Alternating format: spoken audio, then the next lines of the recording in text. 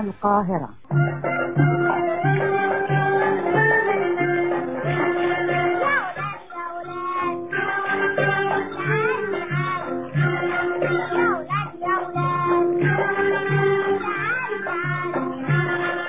أبلة فضيلة. اسم له ثقل عند الكبار والصغار.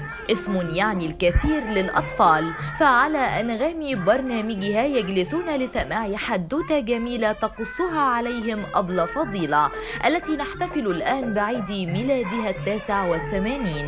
حبايبي الحلوين وكان يا مكان يا سعد يا إكرام ولا يحلى الحديث والكلام إلا بذكر النبي عليه الصلاة والسلام. عليه الصلاة والسلام. فأبلة فضيلة شخصية مؤثرة في كثير من الأجيال عن طريق أشهر برنامج للأطفال بالإذاعة المصرية في الوطن العربي كله حيث تميزت بصوتها وأدائها الجميل والبسيط لوصوله مباشرة إلى قلب وعقل الأطفال خلال سردها الحكايات والقصص التعليمية لهم لتجذب الملايين منهم وتساعد الآباء بشكل إيجابي على ترسيخ القيم والمبادئ التربوية لدى أبنائهم.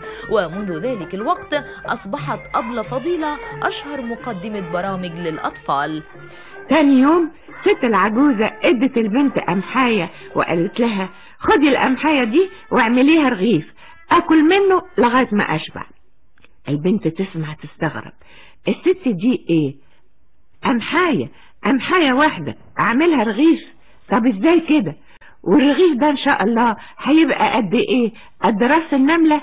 لا الست دي مش هنفع أفضل عندها فالسيدة التي ارتبط صوتها في عقولنا بالحكايات والقصص وننطق اسمها وكأنها أحد أفراد العائلة بدأت مشوارها الإذاعي كمذيعة ربط عام 1953 وبأحد أيام عملها قابلت الرائد الإذاعي محمد محمود شعبان والشهير ببابا شارو فقالت له أتمنى أن أعمل كمقدمة برامج للأطفال فأجابها بابا شارو أنه هو من يتولى العمل على هذا الملف الإذاعي. الإذاعي وحده. ثم بعد ذلك بدأت بتقديم النشرة الإخبارية بالإذاعة حيث تطورت إمكانياتها وخبراتها على يد الإذاعي الكبير حسني الحديدي والذي هو من أشهر مذيعي نشرة الأخبار بالإذاعة المصرية. وفي عام 1959 تحقق حلمها بالعمل على أشهر برنامج للأطفال بمصر والوطن العربي وهو ما يعرف